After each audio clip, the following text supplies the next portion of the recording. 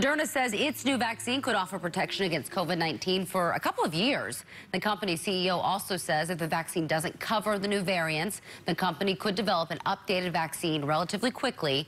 Moderna says its vaccine is 94.1% effective.